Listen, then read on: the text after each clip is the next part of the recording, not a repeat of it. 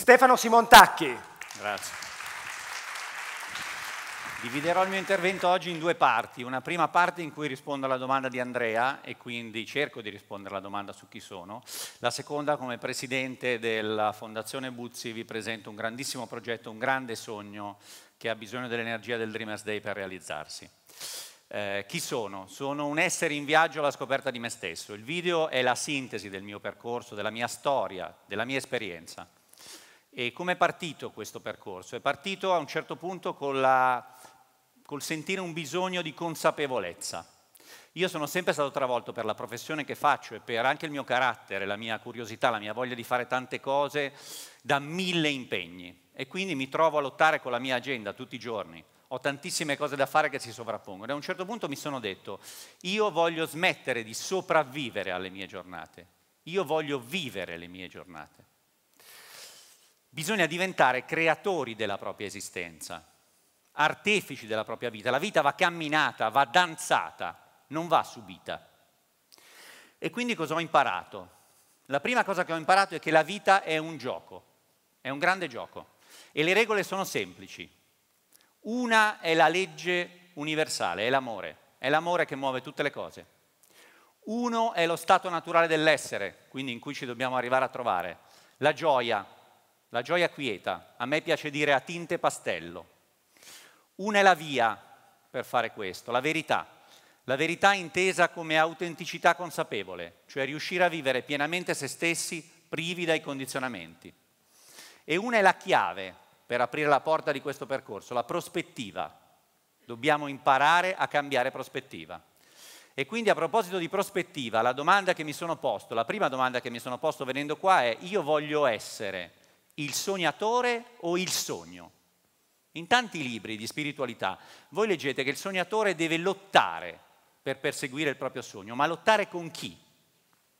Nell'immagine il sogno è la mongolfiera. Il sognatore è prigioniero di una gabbia. La gabbia sono le credenze, i dogmi, quello che pensiamo di dover fare. E siamo come un iceberg dove la parte conscia di noi è la parte fuori dall'acqua, ma c'è una parte inconscia che è quella che sta sotto l'acqua. Quindi la parte conscia pensa di volere qualcosa, ma poi c'è una parte di sé che rema contro e quindi non riesce a ottenere e a realizzare il sogno. E dà la colpa al destino, al tempo che non c'è, agli altri. Allora mi sono detto andiamo a guardare le sacre scritture, ma anche qualche scienziato. E allora troviamo Gesù che dice chiedete e vi sarà dato. Molto semplice. Buddha dice noi siamo quello che pensiamo e già ci avviciniamo all'iceberg. Ma il passo più bello l'ho trovato in un Vangelo apocrifo, il Vangelo di Maria Maddalena, un Vangelo bellissimo, difficile ma bellissimo, dove Gesù non dice chiedetevi sarà dato, dice chiedete, virgola, se avete intenzione di ricevere. Questo è il punto.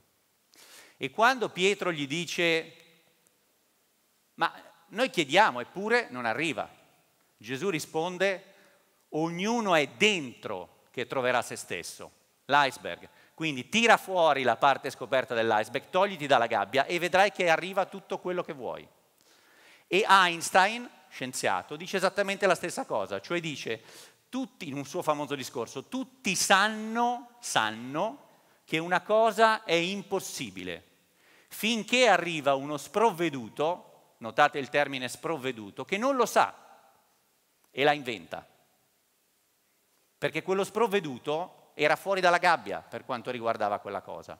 Allora, se vogliamo cambiare prospettiva in questo modo, cosa dobbiamo fare? La risposta che io mi sono dato nella mia vita è devo passare dal saper fare al saper essere. E chi è che sogna ed è felice naturalmente? I bambini. Più i bambini sono piccoli, più sono privi di condizionamenti e vivono felici. Non pensano che ci siano sogni impossibili da realizzare. Allora dobbiamo rinascere dobbiamo ritrovare quel bellissimo bambino che è in noi.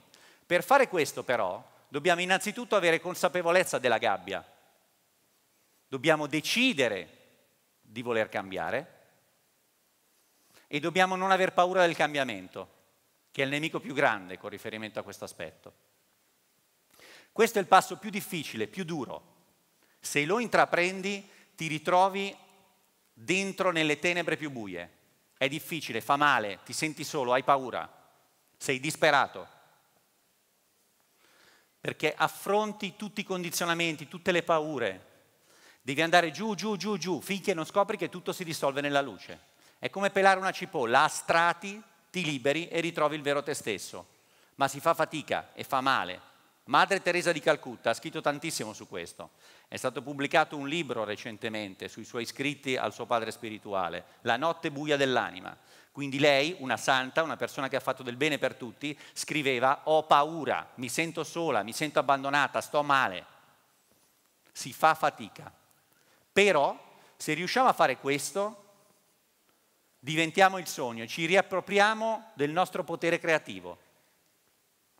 Ci ritroviamo di colpo direttamente sulla mongolfiera. Non solo, scopriamo che tutto l'universo ha cospirato con sincronicità perché noi ci ritroviamo sulla mongolfiera nel momento giusto. E qui viene la parte, nella mia esperienza, più bella in assoluto. È un cammino che devi fare da solo, ma che è un cammino che quando lo inizi, tantissime persone fantastiche entreranno nella tua vita, tantissime anime che entreranno al momento giusto, con quella che Jung definisce sincronicità, anime, eventi, persone che conosci da poco tempo ma ti sembra di conoscere da mille vite. E così è. Questa è una cosa fantastica, è magia pura. A questo proposito, da pochi anni sono diventato amico di un fisico, di un fisico che sta facendo dei lavori straordinari, che sta lavorando con un premio Nobel. E condividiamo le sue ricerche. E ho fatto questa riflessione, la nostra generazione rispetto alle generazioni precedenti ha un grandissimo vantaggio noi non abbiamo solo la filosofia, la spiritualità e la religione per affrontare questi temi. Ne abbiamo uno in più, la fisica, e in particolare la fisica quantistica. La fisica quantistica ha completamente sconvolto le certezze che avevamo circa cos'è la realtà. Se voi aprite un libro di fisica quantistica scoprite che spazio e tempo non esistono, o quantomeno non esistono come noi li intendiamo passato, presente e futuro si fondono in un eterno presente, non è una, una, un processo lineare. Esistono universi paralleli. Stephen Hawking, uno dei più grandi fisici del nostro tempo, dice esistono tanti Stefano e stai attento perché se incontri l'anti-Stefano e gli stringi la mano, pum, ti dissolvi. Come si può reagire davanti a queste scoperte? In due modi. La prima è me ne sto rintanato nella gabbia delle mie certezze. L'altra che è quella che quantomeno ho preso io, è quella di dire wow, che figata. Questa gabbia non ha sbarre così solide, posso metterla in discussione. E nel cambiare prospettiva ci sono tre passi fondamentali che io ho fatto. Primo, la consapevolezza di essere energia. Anche qui la fisica ci dice che al 99,9% il nostro corpo è spazio vuoto, tenuto insieme da un campo di energia. Siamo energia, quindi siamo anime che sono nel mondo in questo momento per fare un'esperienza, ma con una prospettiva di eternità. La prospettiva di eternità ti cambia completamente. La seconda, quella che io chiamo impersonalità, cioè non prendere le cose in modo personale e la vita in modo personale, non lasciare che sia l'ego a trascinare la tua vita. Rimani pure protagonista, ma diventa anche osservatore, fai un passo indietro staccati. E a questo proposito c'è una cosa bellissima che fanno al Plan Village, è il villaggio in Francia di un monaco vietnamita che si chiama Thich Nhat Hanh.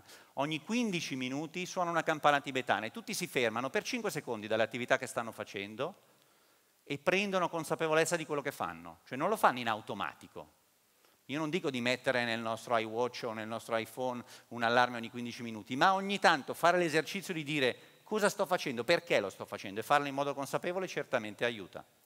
Terzo, io sono, noi siamo, cioè siamo tutti collegati, non sono io contro il mondo, siamo tante anime che sono qui per fare esperienza. Anche qui la fisica ci aiuta, l'esperimento dell'entanglement, non mi soffermo, ma comunque dimostra che siamo tutti uniti. E a questo proposito, da un, da un grandissimo campo di energia, a questo proposito c'è un esercizio tratto dall'Esodo, quindi da un antichissimo libro, un esercizio spirituale molto bello che vi consiglio di fare, io lo faccio spesso. Quando fate una camminata, andate in un parco, camminate per strada a Milano, andate a un appuntamento di lavoro, qualsiasi cosa state facendo, voi incontrerete una serie di persone, cose lungo il vostro cammino. Ecco, vi soffermate su ognuna di queste e ripetete io sono quello, io sono, prendendo consapevolezza del vostro essere e anche del fatto che anche gli altri sono. Questi passaggi hanno cambiato il mio modo di affrontare la vita, gli eventi della vita e il rapporto con gli altri. Vi faccio due esempi, quello delle nuvole e del sole e, e poi un altro. Viaggio spesso per lavoro, prendo spesso gli aerei. Quante volte ci capita alla mattina di alzare la testa e di vedere tutto nuvolo e diciamo non c'è il sole? È brutto, oggi non c'è il sole. Poi l'aereo parte, decolli e sopra vedi uno spettacolo fantastico, cielo azzurro, sole e un letto di nuvole meraviglioso. È solo una questione di prospettiva. E questo è un paradigma anche di come affrontare gli eventi della vita. A volte cose che ci sembrano negative sono solo esperienze.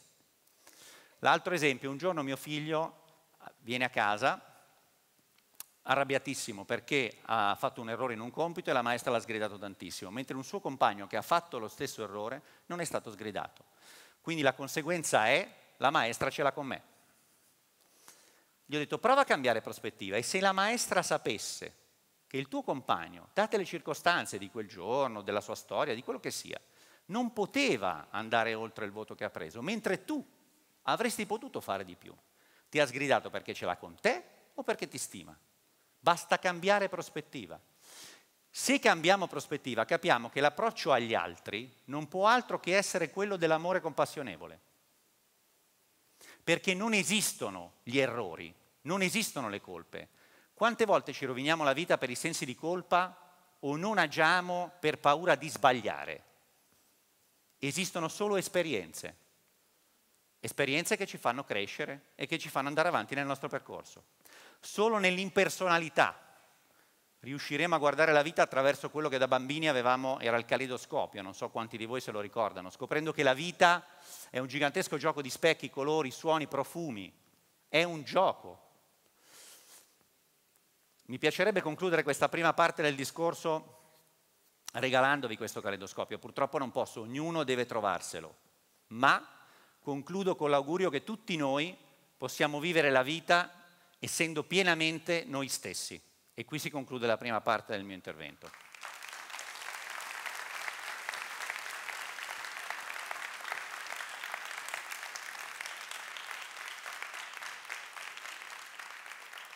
Passiamo alla seconda. I bambini sono i primi grandi sognatori e la cosa che dobbiamo ricordarci è che il sogno non si ferma nella malattia. Il Buzzi, l'ospedale dei bambini di Milano, è al fianco dei bambini di Milano, della Lombardia e dell'Italia da oltre un secolo. E oggi il Buzzi ha questi numeri, oltre 500.000 interventi ambulatoriali, 23.000 ricoveri, 3.500 parti.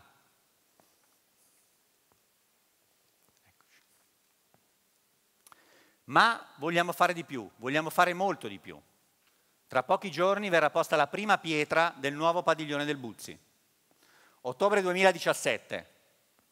I lavori termineranno 2019, due anni, è già un record per essere in Italia. Questo nuovo padiglione realizzerà un sogno, un sogno che sembrerebbe irrealizzabile, un sogno fantastico. E qui entra in gioco la fondazione, perché quando si vuole creare un hub pediatrico internazionale all'avanguardia, qualcosa di unico, che tutto il mondo ci invidierà, il privato deve venire in aiuto al pubblico, il pubblico non ce la fa fino in fondo. Ma cos'è che vogliamo fare di così straordinario, oltre a questi nuovi sette piani, questi nuovi 10.000 metri quadri? Cos'è che faremo di così straordinario? Ci saranno pareti che cambiano colore al tocco, soffitti retroilluminati, non ci saranno le cartelle cliniche by tablet, ci sarà tanto verde, soprattutto attenzione ai piccoli pazienti e alle loro famiglie, attenzione alla persona.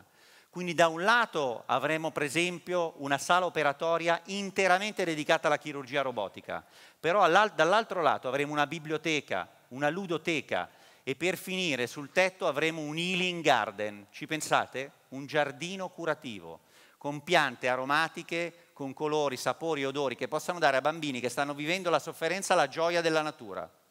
Quindi si pensa al bambino nella sua interezza. Come fondazione per fare questo, per riuscire a raccogliere le sfide, adesso ve ne, ve ne riassumerò solo quattro, ma sono tantissime, vogliamo raccogliere 10 milioni, vogliamo e dobbiamo raccogliere 10 milioni e questo è il nostro grande sogno. E quali sono queste sfide all'apparenza irrealizzabili che vogliamo realizzare? Perché siamo un po' sprovveduti, come dice Einstein, quindi non sappiamo che sono irrealizzabili. Essere il primo ospedale italiano X-ray free. I raggi X fanno male. Oggi più del 25% dei bambini viene trattato in ospedali per adulti, con macchinari invasivi, tarati per gli adulti, che gli fanno male. Per avere un ospedale X-ray free bisogna avere tecnologia di ultimissima generazione, molto cara. Qui il privato deve venire in aiuto al pubblico e qui entra in gioco la fondazione. Seconda sfida, tutti per uno. Metteremo tutti i reparti della terapia d'urgenza in un solo blocco, in modo tale che tutte le specializzazioni siano al servizio di ogni singolo bambino che ha bisogno. Questo ci consentirà, non solo grazie ai nuovi metri quadri, ma grazie all'efficienza raggiunta, di raddoppiare i numeri che avete visto, quindi un milione di prestazioni ambulatoriali saremo in grado di prestare. E poi una terza sfida bellissima, una navicella spaziale per ogni bambino. Sono tantissimi i bambini di Milano e della Lombardia costretti su una sedia a rotelle. Bene, allora perché non facciamo in modo che abbiano la sedia a rotelle tecnologicamente più avanzata, che gli consenta di giocare, di fare sport, di divertirsi, di realizzare i loro sogni, di vivere al meglio? Quarta sfida, un angelo per ogni bambino. I medici sono degli angeli, non c'è dubbio, ma tutti noi le imprese, le aziende, la comunità economica può diventare un angelo, regalando una carrozzina, regalando un lettino, contribuendo a comprare un ecografo. Questa è la sfida che vogliamo. La Fondazione Buzzi ne ha già raccolta un'altra di sfida, intanto chiamo sul palco una serie di medici che rappresentano la Fondazione Buzzi. Ne abbiamo raccolta un'altra, ci sono dei bambini in cura al Buzzi, purtroppo affetti da SMA, che hanno, che hanno, avuto un sogno, quello di creare una squadra di hockey su sedia a rotelle. La Fondazione Buzzi ha deciso di finanziarli, quindi di pagargli la palestra, vogliamo pagargli le attrezzature, vogliamo far sì, lo stiamo già facendo, far sì che abbiano la loro squadra e possano giocare e realizzare i loro sogni. Adesso vi chiedo un grandissimo applauso per questi angeli, questi missionari, ve li presento uno dopo l'altro.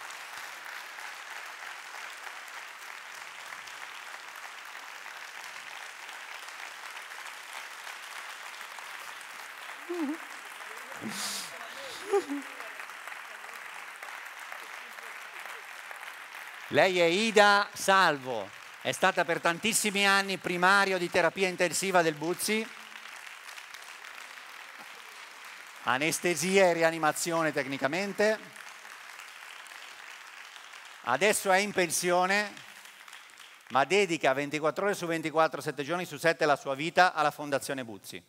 Per esempio, sta per andare in giro con un filmato finanziato dalla Fondazione Buzzi per 200 asili di Milano, 200 asili nido, un progetto fatto insieme al Comune di Milano e a un Rotary, per fare lezione alle maestre degli asili nido e spiegare cosa fare nei casi di emergenza, per esempio quando un bambino inserisce un oggetto.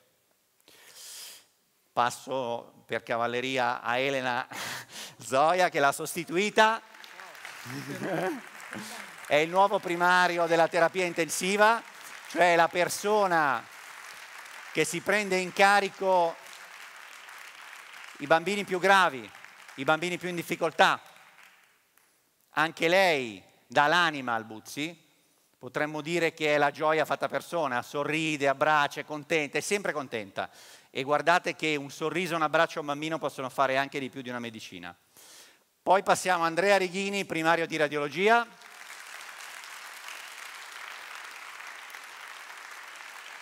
Lui è un entusiasta ed è il papà del progetto X-Ray Free.